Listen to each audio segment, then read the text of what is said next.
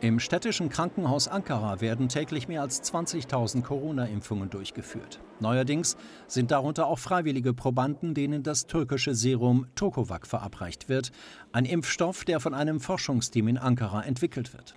In Phase 3 der klinischen Studie, so Forschungsleiter Dr. Atesh, untersuche man gerade mögliche Nebenwirkungen und die Wirksamkeit des Präparats.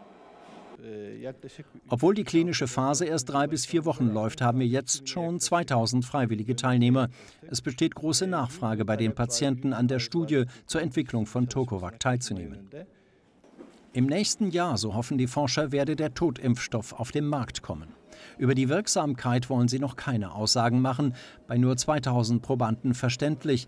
Etablierte Präparate wie BioNTech wurden vor ihrer Zulassung an mehreren 10.000 Probanden getestet und nicht jeder Freiwillige kommt in Frage. Ich wollte eigentlich heute den neuen Tokovac-Impfstoff probieren, aber die Ärzte sagen, das geht nicht, weil ich eine chronische Krankheit habe. Geimpft wird bislang mit dem weniger wirksamen chinesischen Sinovac und mit BioNTech. Für Staatspräsident Erdogan ist Turkovac eine Frage des nationalen Prestiges.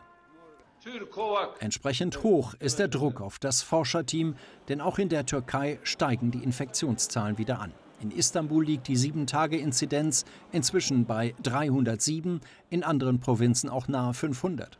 Und das, obwohl nach offiziellen Angaben schon 80 Prozent der über 18-Jährigen zweimal geimpft sind. Zahlen, die Ärzte aber bezweifeln.